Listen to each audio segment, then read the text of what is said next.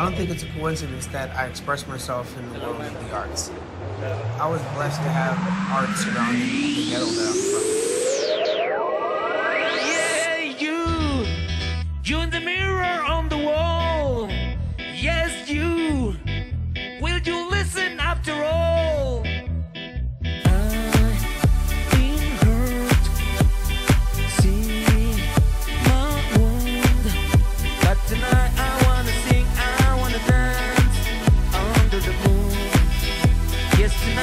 gonna see